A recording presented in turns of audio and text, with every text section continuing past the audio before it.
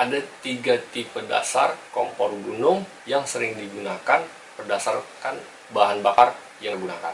Apa saja kompor gunung tersebut akan kita bahas dalam video berikut.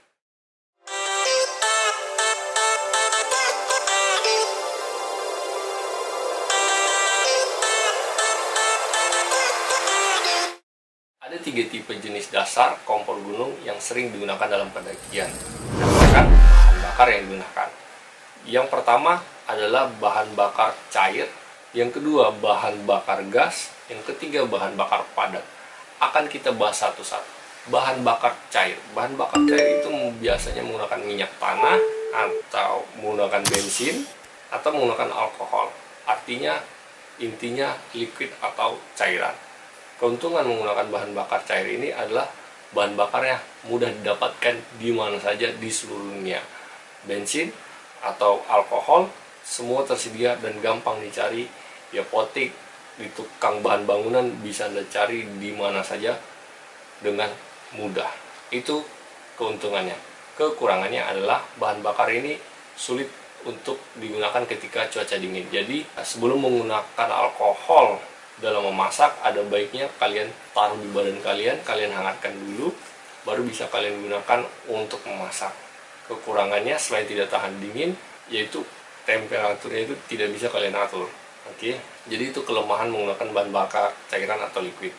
Yang kedua bahan bakar gas. Tabung gas dan segala macam pokoknya pakai gas. Kelebihan bahan bakar gas ini temperaturnya bisa kita atur. Selain itu bahan bakar gas itu pastinya lebih ringan daripada menggunakan bahan bakar cair. Jadi bahan bakarnya lebih ringan karena berupa gas daripada bahan bakar cairan itu kelebihan bahan bakar gas tapi kekurangannya adalah kita nggak tahu atau susah untuk menentukan udah sisanya berapa banyak sih nah itu kesulitan untuk bahan bakar gas kita nggak bisa nebak ini masih banyak apa masih sedikit untuk bahan bakarnya sendiri. Yang kedua adalah bahan bakar gas juga rentan terhadap cuaca dingin. Jika bersentuh dengan cuaca dingin, bahan bakar gas susah untuk dihidupkan kembali gitu atau digunakan dalam cuaca yang cukup-cukup dingin. Bahan bakar gas juga rentan terhadap dingin sama seperti bahan bakar cair.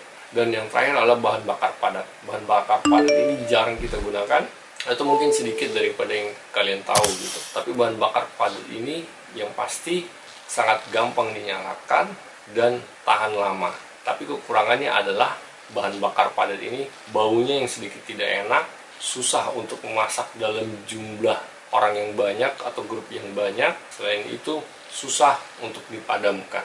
Itu adalah kekurangan bahan bakar padat. Bahan bakar padat ini yang terakhir yang pasti jarang kalian temui ataupun jarang kalian gunakan. Tapi sebagai emergency bisa kalian bawa sebagai jaga-jaga. Enaknya bahan bakar padat ini sih bisa dibilang zero maintenance atau tanpa maintenance sama sekali. Sekian tiga jenis kompor gunung berdasarkan bahan bakar yang mereka gunakan. Mana yang merupakan favorit kalian? Cairan, gas, atau bahan bakar padat? Komen di bawah. Sekian video kali ini, jangan lupa like, komen, dan subscribe. Sampai jumpa video berikutnya.